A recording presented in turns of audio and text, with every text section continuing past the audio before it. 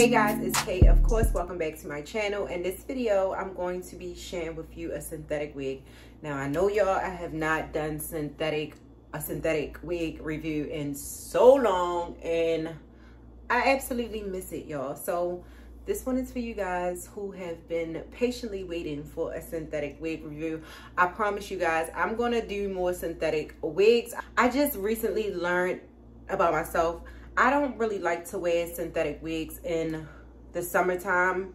It just does not work for me. So I think this whole summer I have not worn a synthetic wig. To me, synthetic fibers just don't work well with heat. So that's another reason I just have not been wearing synthetic wigs lately, but I'm definitely going to get back into it. So this wig was actually sent to me by Elevate Styles, just in case any of you guys are interested. Of course, I'm gonna go ahead and leave all the details in my description box. The brand this is by is Sensationnel. This is from the Dashly collection. It's actually a new wig they just came out with. So I have it in a style Lace Unit 22 and she's in a color 2. So this is what the stock card looks like basically and it's a pretty simple wig and it has like a little it looks like a little spiral curl in the front. I'm not sure. So i'm gonna try her on with the lace still on so you can just get an idea of what of what the wig looks like straight out of the packaging. And like i predicted i knew that this wig was gonna lay flat just how it looked. So I'm gonna go in with my brush and it don't look like I'm gonna have to put in a lot of work when it comes to this wig. And it is a yaki texture, like a really light yaki texture. Um, is a slight shine. The shine is kind of showing up a little bit more on camera versus in person. So the wig is not overly shiny, but it does have a shine, but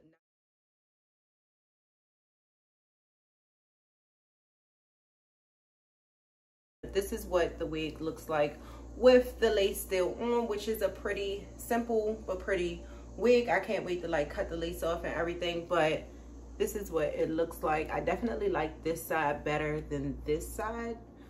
I don't know i just wish that they matched but this is what the parting looks like which it looks like i'm gonna definitely have to go in with some finishing powder or concealer to make that look a little bit more natural and this is the hairline so if you are wondering about the size of this cap i do feel like it's a normal cap size if you have a bigger size head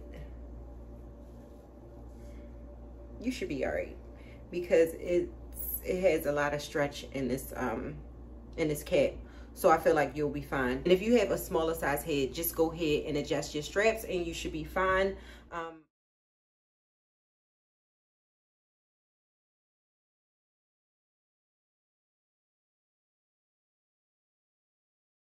So I'm actually going to pluck some hair out the front because um, I wanted to look a little bit more natural than what it's looking right now, y'all.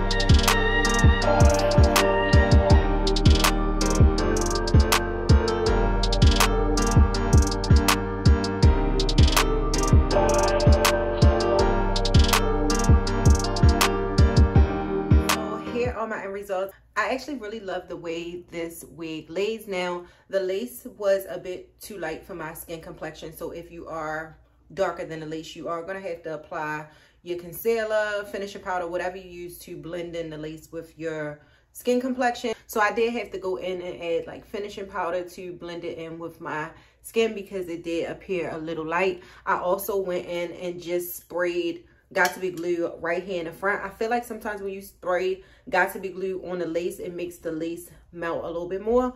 Towards the end, when I brush it, I do get a few snags, but it's nothing terrible. And I haven't got shedding from this yet, but keep in mind, it's a long synthetic wig, so be careful how you wear it. You will get tangling and shedding eventually or throughout the course of you actually wearing this wig but I actually really like it for like a everyday. I don't know, some people, if you are a fan of long hair and you're looking for a simple but cute everyday type of wig, like I said, if you're into long hair. If any of you guys are interested in this wig, of course, all the details and links to this wig will be in my description box and y'all let me know what y'all think.